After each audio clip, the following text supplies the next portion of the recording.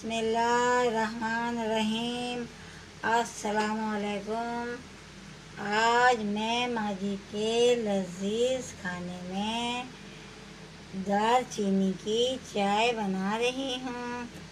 आजकल लोगों को जो नज़ला ज़ुकाम है, मौसम बदल रहा है, खांसी, नज़ला, बुखार तो इसमें ये चाय जो है, ये बहुत मुफीद है।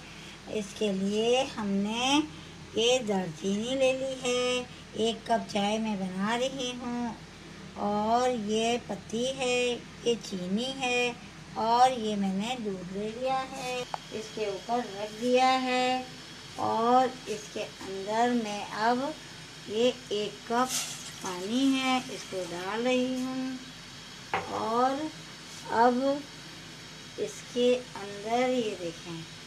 ये दालचीनी है, ये मैंने इस पानी में डाल दी है। ये पानी बॉईल होने के साथ साथ इसका जो अरक है वो निकल आएगा। ये आप अगर किसी को नज़ला है घर में, खांसी है, गला ख़राब है या वो कुछ भी है, आप उससे ये दालचीनी की जो चाय है या आप दें। लेकिन इसके ऊपर दोबारा जो है, ये पी के कहवा पानी ना पिए। ये जो मैं चाय बना रही हूँ दालचीनी की, इसके पीने के बाद पानी नहीं पीना है। ये ये पानी जो है, इसके अंदर ये दालचीनी का जो कलर है, ये आ गया है, ये देखें ये पानी सुरख सुरख हो रहा है, ये अब इसमें मैं ये देखें। ये पत्ती डाल रही हूँ। मैंने इसमें पत्ती डाल दी है।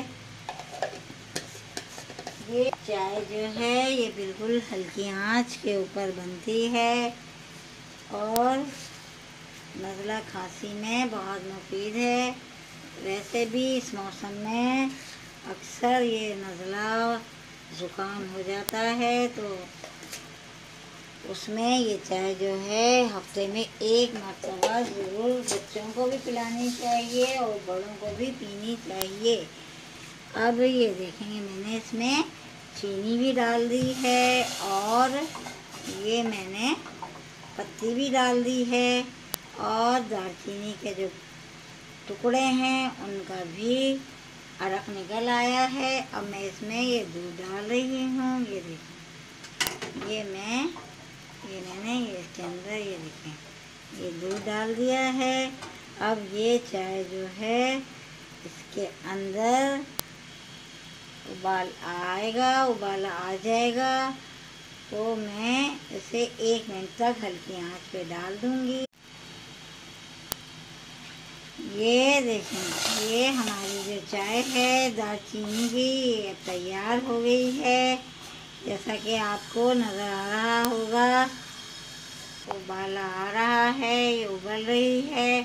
इसका सारा रस जो है वो इसमें पानी में, चाय में आ चुका है। ये देखें, अब मैं इसे छान कर निकाल लूँगी। ये